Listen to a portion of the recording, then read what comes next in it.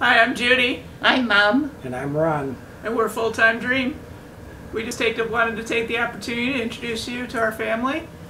We have Buddy, Tux, and Tilly, Tilly. and we just want to wish you all Uh, Merry Christmas. a Happy New Year. And Tux doesn't want to stay here. And I think that's a wrap. Happy holidays, everybody.